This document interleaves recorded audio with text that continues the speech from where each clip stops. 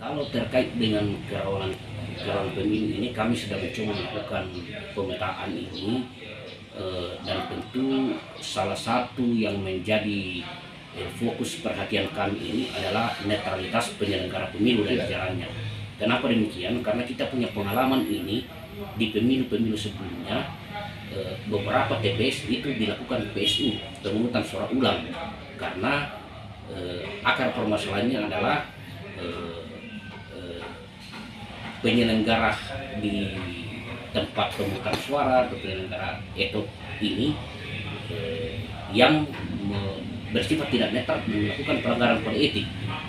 Sehingga berdasarkan pengalaman itu memang kami fokuskan di situ. Meskipun tidak disangkali masih banyak kerawanan-kerawanan yang lain yang jadi juga perhatian kita misalnya hoax eh, penggunaan isu sara dalam dalam Pemilu. kompetisi pemilu ini itu juga menjadi perhatian kita karena tentu hal-hal itu yang akan sangat mengganggu pelaksanaan pemilu kita ya, sehingga eh, dengan adanya hal itu kan akan membuat pemilu kita ini menjadi pemilu yang tidak damai pemilu yang eh, seharusnya menjadi pesta rakyat yang eh, sifatnya adil dan bermartabat.